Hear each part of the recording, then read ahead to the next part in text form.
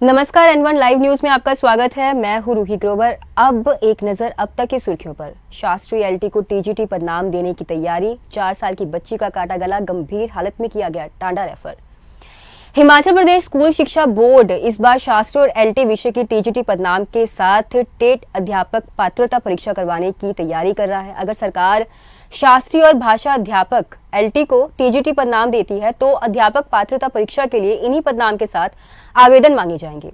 इसके चलते इस बार टेट भी जून के बजाय जुलाई में करवाने की योजना है। बता दें कि प्रदेश सरकार ने स्कूलों में तैनात शास्त्रीय और भाषा अध्यापकों को टीजीटी पर नाम देने की बात कही है। ऐसे में जून में होने वाली अध्यापक पात्रता परीक्षा धर्मशाला ने जुलाई के लिए स्थगित कर दी है। स्कूल शिक्षा बोर्ड अब एलटी और शास्त्रीय विषय की परीक्षा को टीजीटी पर नाम के साथ करवाने की ही योजना बना रहा है। जानकारी के लिए बता दें कि हिमाचल प्रदेश स्कूल शिक्षा बोर्ड साल में दो बार आठ विषयों के लिए अध्यापक पात्रता परीक्षा करवाता है। इनमें TGT non medical, TGT arts, TGT medical, LT, शास्त्रीय, पंजाबी और उर्दू विषय के लिए टेट का आयोजन होता है। अगर सरकार इस बार शास्त्रीय और भाषा अध्यापकों को टीजीटी पदनाम की मंजूरी दे दे तो शास्त्रीय और भाषा अध्यापकों का टेट टीजीटी पदनाम के साथ होगा।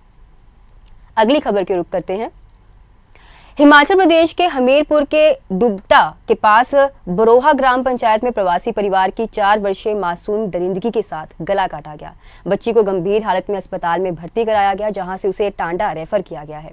पुलिस मामले की जाँच में जुट गई है। मासूम के पिता के बयान और लोगों की बातें आपस में मेल नहीं खा रही, इसलिए ये मामला संदिग्ध बन गया है। जानकारी के अनुसार पंचायत प्रतिनिधियों का कहना है कि गुरुवार को गाँव में प्रवासी परिवारों के बच्चे ज़ोर ज़ोर से चिल्लाने थे।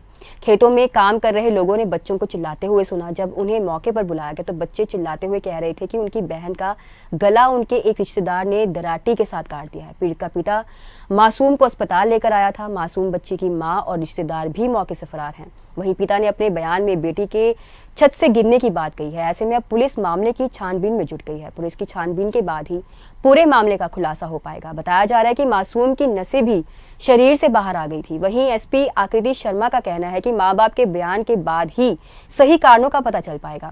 फ़िलहाल मासूम को नाजुक हालत में मेडिकल कॉलेज टांडा रेफर किया गया है। एन वन लाइव न्यूज़ में फ़िलहाल के लिए इतना ही। बने रहिए हमारे साथ।